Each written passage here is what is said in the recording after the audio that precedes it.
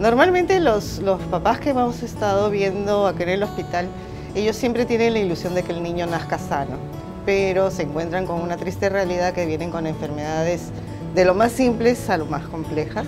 Entonces ellos se les rompe el corazón de ver a, su niño enfermo y que ellos no pueden, no está en sus manos sanarlo, sino está en las manos de los médicos. Pero nosotros las voluntarias cooperamos con la familia. Tratamos de hacerles entender a los papás que su niño, por muy enfermo, es su niño y ellos tienen que luchar por sacarlos adelante. Nosotros venimos con la idea de, igual que en todos los voluntariados, de dar amor, de dar entretenimiento, de poder ayudar, de poder que esas dos o tres horas que la voluntaria esté lo dé por completo, en entretener a los niños, enseñarles a pintar, a jugar y todo. Pero nos vimos en la necesidad también de poder ayudar. Tenemos una pequeña cafetería donde nosotras mismas elaboramos todas las cosas y todo lo que se vende es para ayudar. Ayudamos con sillas de ruedas, ayudamos con medicamentos, ayudamos con medicina, porque vemos la necesidad del día a día. Acá yo les digo, acá son indispensables. Porque el día que tú faltas, ese día hay un niño que no lo atendiste, hay un niño que no lo entretienes, hay un niño que no lo ayudas.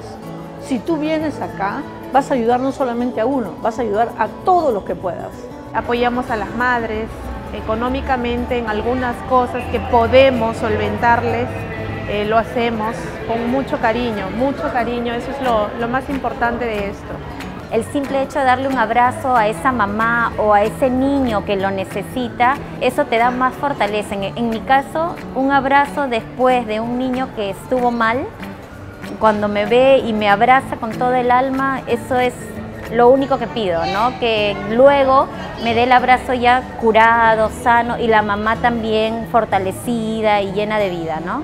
Necesitamos bastante apoyo, nos gustaría tener un equipo más numeroso para poder cubrir más las necesidades. Nosotros hacemos y nos dividimos en muchísimo, pero nos gustaría contar con más personas que pudieran tener ese corazón y venir a ayudarnos.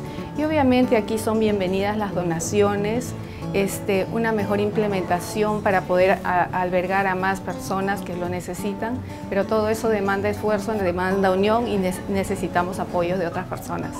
Si nosotros mujeres hemos crecido como madres, como esposas, como hijas, como hermanas, acá van a crecer como personas, que eso es importantísimo. Ustedes no saben la tranquilidad emocional que se siente el poder ayudar, el poder dar, porque la sonrisa, la mano, el gracias, el abrazo, para nosotros es más que suficiente. Y yo siempre digo, nosotros somos voluntarias por vocación, nadie nos obliga a venir a trabajar acá. Damas voluntarias del Instituto de Salud del Niño. Nuestra razón de vida es ayudar.